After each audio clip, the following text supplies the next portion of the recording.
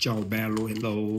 I'm gonna read here a very nice article, very true, that can help you with good things, with good thoughts. Take control of your thoughts. We lead every thought and purpose away captive into the obedience of Christ. 2 Corinthians 10, verse 5. Your mind is the battlefield where victory or defeat is decided. That's why Paul writes, We lead every thought and purpose away captive into the obedience of Christ. You have a choice. Either you lead your thought or you do you lead you. Either you take your thought captive or your thought will take you captive. Where where do those come from? Everywhere. If you spend quality time with God each day in prayer and and in the scripture, your though will be guided by God.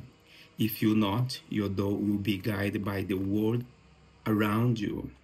You don't have to accept every though that comes into your head. Instead, you should measure each though against the standard of Scripture, which calls for obedience to Christ. Here is a practical example. If someone hurts your feeling, make a decision right then and there that you won't be upset with them for days on the on end. That only gives Satan the opportunity to plant seeds of bitterness. Instead, you can reject negative thinking and refuse to let it drain you your of your peers' enjoy. The same is true when you are attempting. The best way to conquer a wrong though is to replace it with a right one.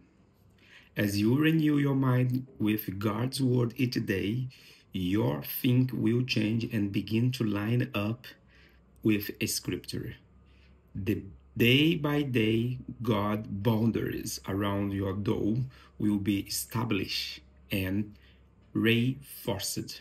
This limit will not only keep you out deception and death, but help you to live more enjoyable, godly life. Amen.